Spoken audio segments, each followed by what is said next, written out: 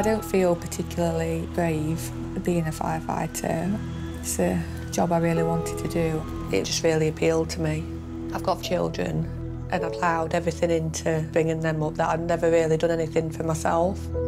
I didn't even expect to get through the course. It was one of the hardest things I've ever done. But I proved myself wrong and did it. One of the proudest moments of my life, definitely. I met Kev two years ago. I gave Karen my number. I wrote it on a beer mat. And I messaged him back a few days later. She was um, keeping me waiting a bit.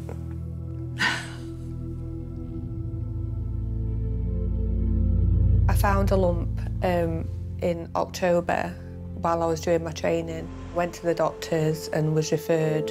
I was fit, healthy. You know, I don't smoke or drink. I never expected it to be anything serious. I was told within an hour of me being there that um, they thought it was cancer. It was a triple negative breast cancer in my uh, lymph nodes in my neck and um, in my lungs as well. Among all the questions that she asked, I heard this answer saying, you've probably got three months. I heard that and I kept, it kept being repeated in my ears. From that moment on, things have never been the same. They've said my response has been exceptional. I'd gone into remission, so I'm, I'm you know, quite lucky that I've been given extra time. I was desperate to get back to work and just get back to normality. I was absolutely ecstatic to be back at work and doing the job that I really wanted to do and, and loved and that I never, I think to be honest, I never thought that I'd, I'd get to do.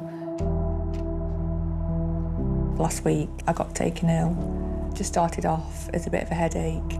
My local hospital sent me for an emergency CT scan. It came back and said that it was uh, abnormal and that there's two small tumours which have spread in my brain.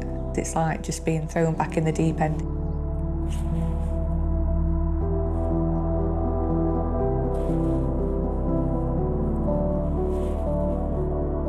Just wondering if you know, I'm going to get to spend another Christmas with the kids. My kids, six and eight, I worry about them having to grow up without me. Ruby, she said, Mummy, what if you die this time? What am I going to do without a mummy? You meet someone and everything about that person is just what you've been looking for. And me and Karen found that. And then this has happened and, you know, it, it's, it, it's a difficult one to accept.